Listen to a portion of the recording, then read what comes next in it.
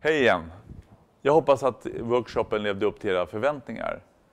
Nu hoppas jag att ni går ut och använder de verktyg ni har fått så att ni kan ta emot ett budskap, bryta ner det, kommunicera det och skapa engagemang och dialog bland era medarbetare.